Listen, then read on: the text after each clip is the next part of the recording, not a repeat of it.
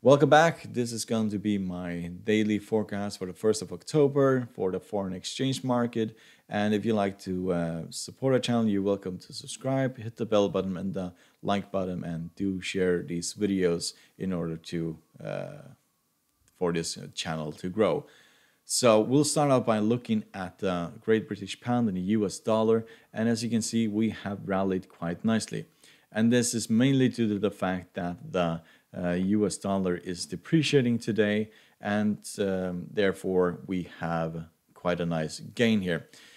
However, we are running into support at the uh, 40 exponential moving average. If we were to break that, then we have the 50 moving average just above, and uh, that will probably be uh, more difficult to get through that uh, moving average than it is the 40 uh, exponential moving average. We have crossed the signal line in the MACD, indicating bullish momentum. The same goes for the RSI, that is also fairly bullish, and also stochastic and so on. So it's looking like we are going to go and break through this uh, 20, uh, 40 exponential moving average and go to the 50 moving average.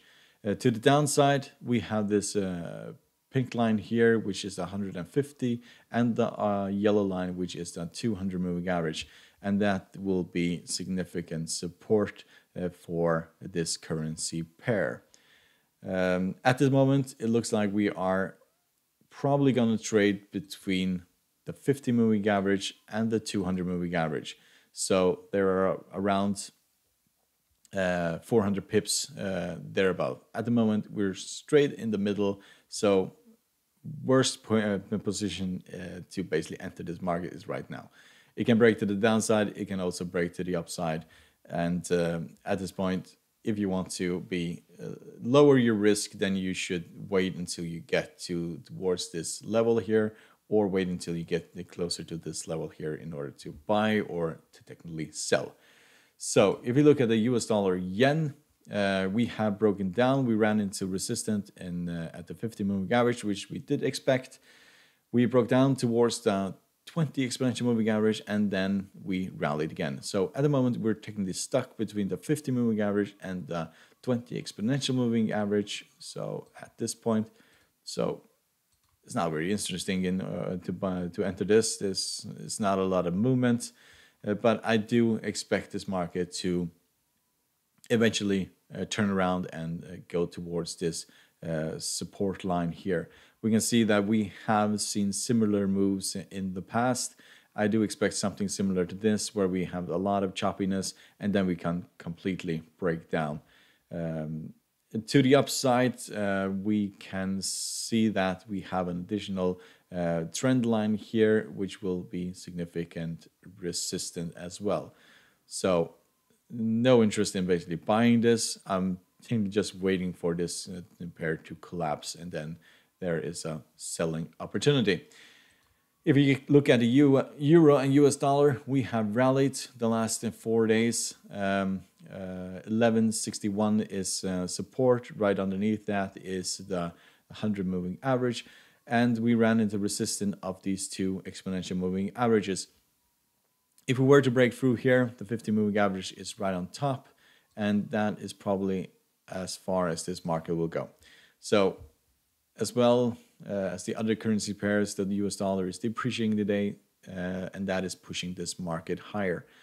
We are about to cross the signal line in the MACD, indicating bullish momentum, but the RSI is technically pointing downwards momentum.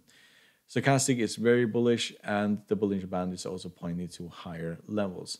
So we may go all the way to the 50 moving average. I do expect us to run into quite a lot of resistance at this level here. As we've seen in the past, this area has been um, an area where we have visited several times. If you look at the US dollar, Aussie dollar, or the Aussie dollar, US dollar, we have rallied from the lows of, uh, of uh, 0.70 and at this moment we are running in the resistance at the uh, 20 exponential moving average. We have the 40 exponential moving average above and also the 50 exponential moving average. So we'll see a, probably a lot of choppiness if in order to get to the 50 moving average. If we break through there, then we'll go to this area here. And if that basically breaks, we'll go to the uh, these highs of uh, 0.74. If we were to break down from here, then this um, 0.70 is probably a good entry point. Further down, we have the 50, 150 uh, moving average, and that is at 0.69. So if you look at the US dollar, Canadian dollar, it has broken down quite significantly today as as expected. We didn't even get close to the 300 moving average. Uh, we were in this area here for a few training days and now we broke down. And at this point, the 20 and 40 and the 50 moving averages or exponential moving averages will be uh, resistant, uh, will be support. And if we break through there, we'll go to this area. We can write it up here We'll go down towards that area and after that this area here will also be uh, will also be supported. It technically looks like we are in, in an uptrend. However we do need to bounce from this area in order to confirm that we are in an uptrend. We, there is a slight possibility that this is um, this are lower highs. And if that is the case, then we should basically uh, bounce from this area and continue with this um, with this with this channel here. So we can basically write this up similar to this. So something similar to that. So we'll bounce from here, go up, and then continue in this pattern. If we were to break through there, then this is completely wrong. And then uh, then we most likely will test these uh, support areas here. Uh, if you look at the technical indicators, they are they are more in support of a downwards uh, momentum. You can look at the MACD, which is about to cross the signal line. Uh, probably tomorrow or on Friday session will uh, will cross, and that means they will have bearish momentum. The RSI is quite negative, and the same goes for the stochastic. So we just have to see. If we break through this area, we'll go lower. If we bounce from here, we'll go higher towards this uh, trend line. So if you like this video, you're welcome uh, to support our channel by subscribing, hitting the like button and the bell button, and do please uh, share these videos. Uh, good luck and happy trading.